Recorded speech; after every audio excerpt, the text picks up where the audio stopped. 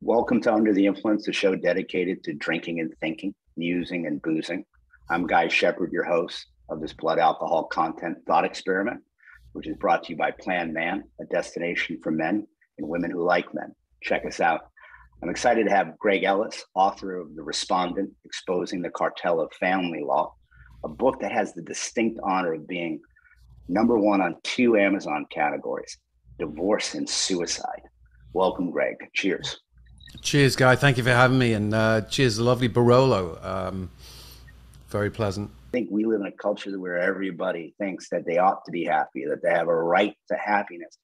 And they wanted to kind of like kind of put it into our, you know, to our minds. It's like, no, you better off see yourselves as cellmates than soulmates because the only way you can do time together is if you recognize that this isn't easy.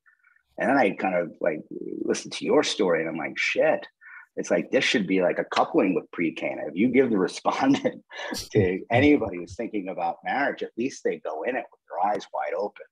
And you know what I'd like to do, you know, and ask you to do is just kind of tell your story, but also with this idea that I think that you know it's almost irresponsible not to know pretty much what happens when a marriage fails or what could happen, right? And it's like, I mean, you have just gone through the Cuisinart of the, you know, family law, divorce court. And, and, and maybe you might even take, give some attention to what is it like doing that in California? March 5th, 2015, happy home life, earned uh, privilege and success, member of the country club, um, two beautiful sons, 10 and 8, and um, 20 years married. And uh, like many uh, men and fathers and mothers and uh, women, I had no idea of the two words family law.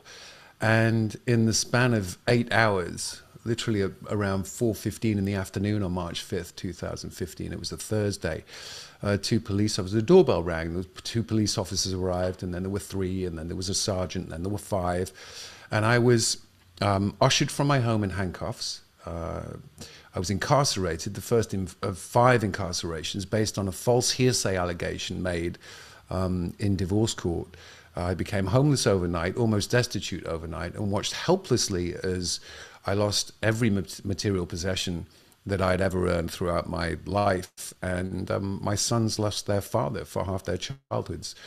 And in crossing that legal Rubicon from citizen to respondent, I migrated from a world of presumed innocence and respected privacy to one of assumed guilt and immediate and ruthless judgment. And then I discovered as I entered the court system um, that while I was incoherent trying to struggle through this devastation uh, that I'd found myself in, that I thought I was going to get justice and the American legal system, and I would have a judge, and uh, there'd be fairness and and I entered the star chamber. And then, in, in a paradoxical kind of catharsis, I got some relief finding out that I wasn't alone and there were tens of thousands of parents um, that had been through this and were going through this situation. Almost like Solzhenitsyn in the Gulag. He wasn't alone. Right. Yeah. we find solace through communion.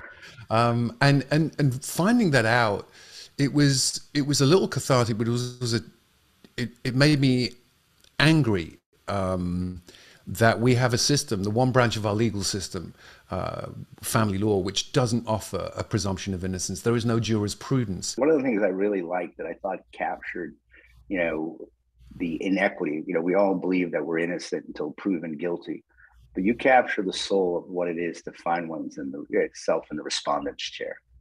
I thought that was nice. Yeah. So well originally the first title for the book that I wrote, a working title, was "How to Survive When Your Wife Wants, you, When Your Spouse Wants You Dead and Has the Legal Ways and Means to Kill You." it was going to be a survival book, a strategy book of like how to actually dodge the silver bullets and and all of that. But I arrived at the respondent because it has a not only does it have a kind of John Grisham ring to it, but it also uh, is the name given to that uh, part person who responds. So in legal parlance, you have a petitioner and a respondent. In um, in a court of law, you would have you know the plaintiff and the defendant. So in essence, the respondent is the defendant on the back foot from the word go. Um, so that's why I called I called the book "The Respondent," exposing the cartel of family law. It is a legalized cartel. I mean, when I got deeper into the into the research and found out that states are reimbursed six thousand dollars for every child that's placed into foster care. Mm. I started thinking, hang on, is this child protection services or child profiteering services?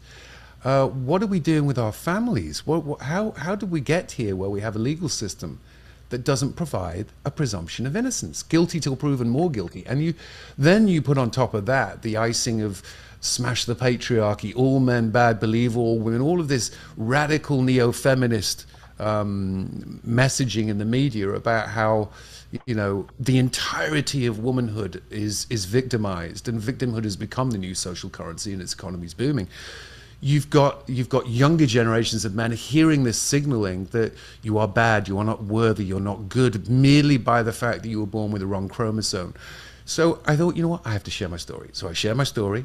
Um, and that really is a vessel for the other stories that are out there, all the same, different details, with a view to hopefully changing, having some impact on changing the system, on uh, affecting public policy. Um, Thank you. Thank you. Cheers. Take a sip of that Barolo.